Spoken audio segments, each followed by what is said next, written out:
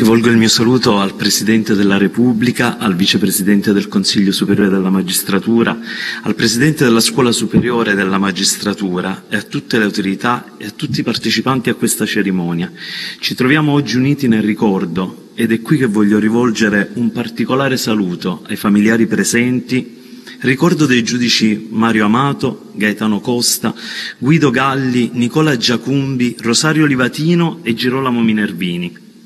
nomi da pronunciare con orgoglio, simboli civili della nostra Italia che hanno pagato con l'estremo sacrificio la loro incondizionata dedizione alla giustizia e più in generale ai valori democratici della nostra Costituzione.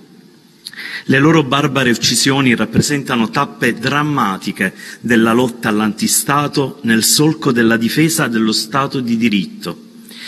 In una lettera indirizzata a suo padre, poco prima di superare il concorso in magistratura, Guido Galli scriveva Vedi papà, io non ho mai pensato ai grandi clienti o alle belle sentenze o ai libri. Io ho pensato soprattutto a un mestiere che potesse darmi la grande soddisfazione di fare qualcosa per gli altri. In queste poche righe si coglie non soltanto la nobiltà del sentimento che aveva animato la sua scelta di vita, ma anche e soprattutto la sua concezione della giustizia in termini di servizio alla collettività. Ed è, ed è, questo l'ideale di giustizia a cui non possiamo rinunciare in un tempo in cui il Paese deve trovare la sua forza nella compattezza istituzionale e nella capacità di sentirsi, proprio attraverso le istituzioni, una vera comunità Mario Amato, Gaetano Costa, Guido Galli, Nicola Giacumbi, Rosario Livatino e Girolamo Minervini sono stati crudelmente uccisi per l'impegno, la caparbietà e la professionalità con la quale avevano deciso di opporsi all'ondata di violenza criminale che puntava al cuore delle istituzioni e della nostra democrazia. Rappresentavano in definitiva la migliore espressione dello Stato, servitori che svolgevano il proprio lavoro lontano dai riflettori nel segno della sobrietà, dell'abnegazione e del costante obiettivo di ripristinare la legalità.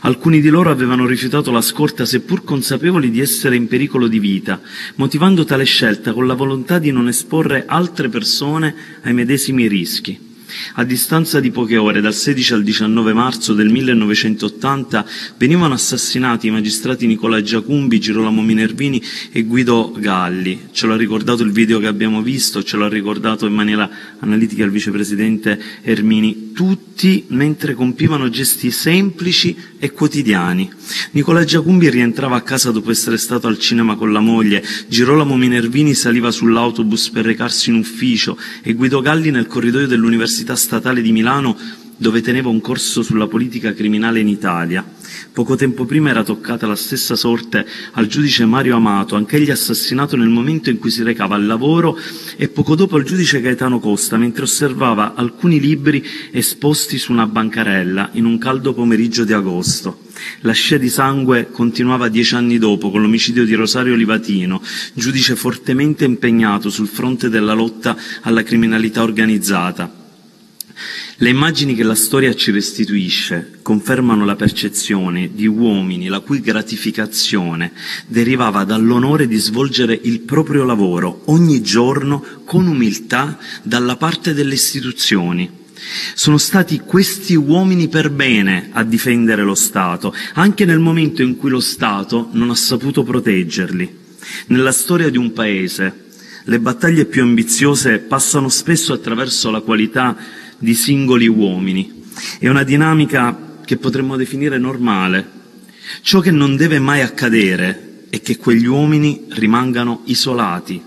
L'eredità che oggi dobbiamo rivendicare fortemente risiede nel dovere di tutti noi, in quanto istituzioni, di combattere con irrinunciabile compattezza ogni forma di crimine organizzato, Credo fermamente che accanto al rafforzamento delle istituzioni vada coltivata la coscienza morale e debba essere conservata la memoria di questi uomini per tradurle in azioni concrete. Sono loro i modelli di riferimento professionale e culturale a cui la magistratura e più in generale la società moderna devono rifarsi. E se ci pensiamo bene, La custodia di quei modelli è imprescindibile nell'azione del Ministero della Giustizia, del Consiglio Superiore della Magistratura e della Scuola Superiore della Magistratura.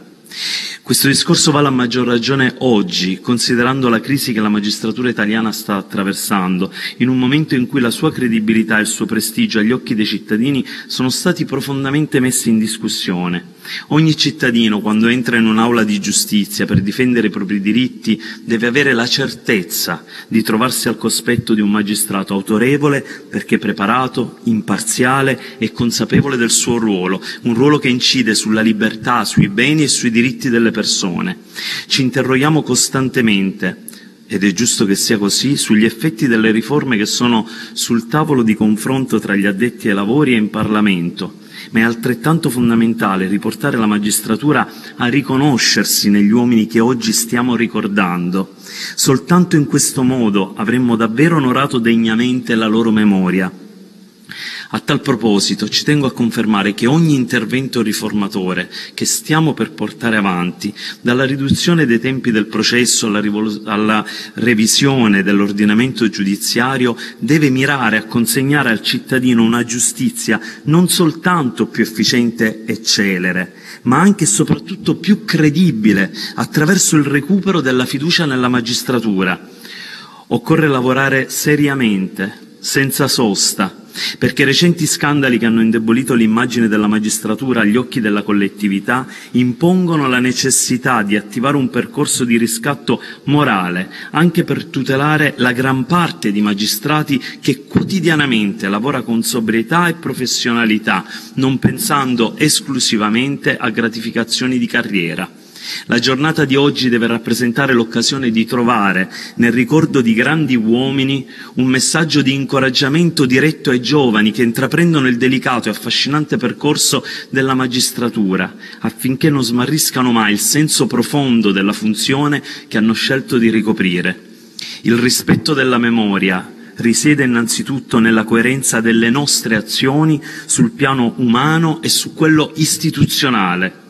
per questo oggi siamo qui, Consiglio Superiore della Magistratura, Scuola Superiore della Magistratura e Ministero della Giustizia, con l'autorevole e illuminata guida del Presidente Mattarella, per non tradire il messaggio che eccezionali servitori dello Stato ci hanno lasciato, perché ricordare non significa guardare al passato,